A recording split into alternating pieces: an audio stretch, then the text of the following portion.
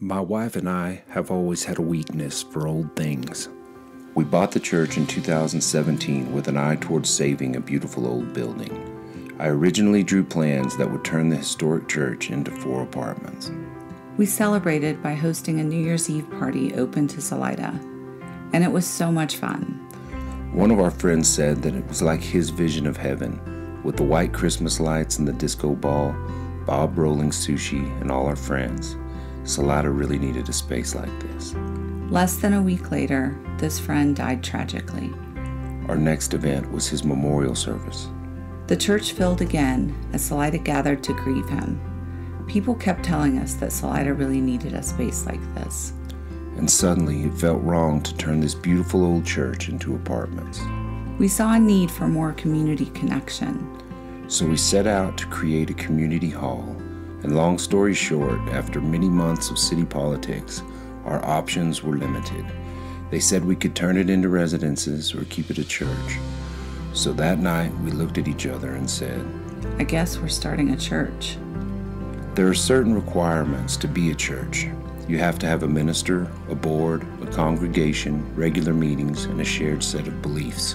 We believe in the power of community to create positive change. We encourage individual spiritual growth and a search for truth and meaning. We believe in the inherent worth and dignity of every human being. And that's what drives the church to this day. We host live music from both local and traveling musicians in a listening space that allows a person to hear lyrics and honor musicians with complete attention.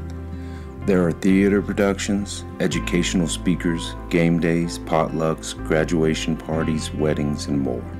Connecting the older and young in art and play. Over the past four years, we've partnered with over 30 nonprofit groups, the library, and schools. We remodeled the basement downstairs into an affordable living space for four tenants in a co op type living situation. A hardworking board of directors leads the nonprofit, and we hired Andrea Mossman to manage the space. We could not do this without her. Or the many volunteers and donors that support our mission. And the people that come out to participate in the events. The ones that turn off Netflix and get their pants on and come listen to music or see a show.